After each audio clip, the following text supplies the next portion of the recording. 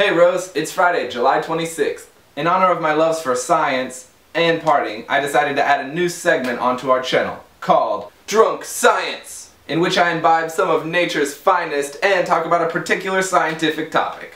Today I'll be drinking some fine silver rum and talking about radioactive decay. I bet nobody has ever said that sentence before. Rum is my fave liquor and nuclear physics is one of my fave sciences. So here we go! Some ice.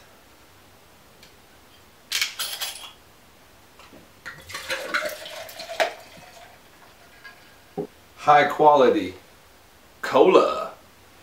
Mm -mm -mm -mm. This is how babies are made.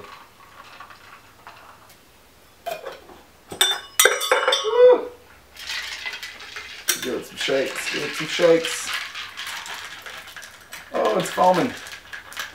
So I had this idea just now to make this into a drinking game. So you should take a drink every time I take a drink and every time you learn something.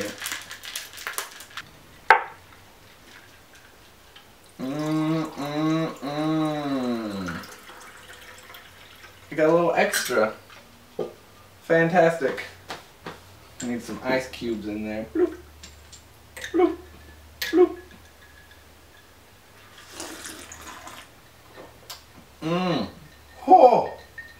Ah, wow. That. That is strong.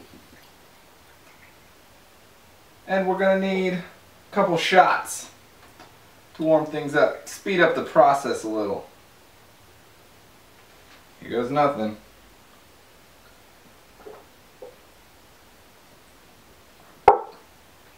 Oh. Oh. To science! Take one more shot just to make sure. Mm-mm. Ugh, spilled it on my face. Oh god, I'm gonna drink this whole bottle. Hey! Okay, first we need a quick nuclear physics 101. Atoms are made up of three things, protons, neutrons, and electrons. Protons have a positive charge, electrons have a negative charge, and neutrons have no charge. Another way to think of it is that neutrons have both charges, but we'll get to that later. When I was young, I didn't really understand neutrons. I mean, I get protons, they're like the meat. They're like the important part. The number of protons tells you if we're talking about an atom of hydrogen, or carbon, or solid gold. And electrons are important. They're what allows atoms to interact with each other. They're basically what allows chemistry to happen. But I was like, what are these freaking neutrons for? They just hang out? What a waste. But then I learned about the four fundamental forces of nature, that is, electromagnetism, gravity, the weak nuclear force, and the strong nuclear force. I'm doing another shot. Whew.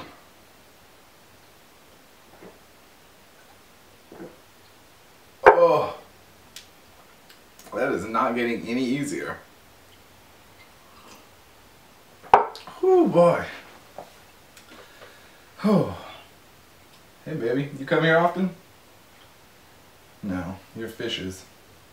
See, electromagnetism gives all the protons in the nucleus a positive charge. And if you've ever played with a magnet, you know that positive charges repel each other.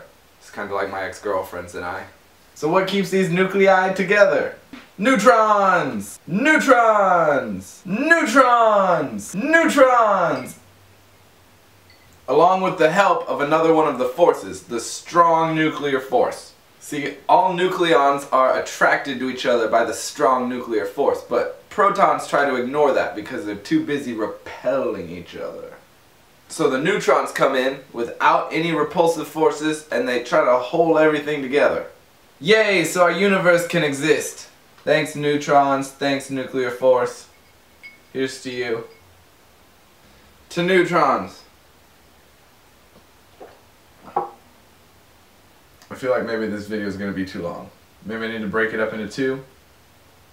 Yeah, I'm going to break it up into two. So click here to watch the second part of this video, to watch me drink more rum, and talk about radioactive decay.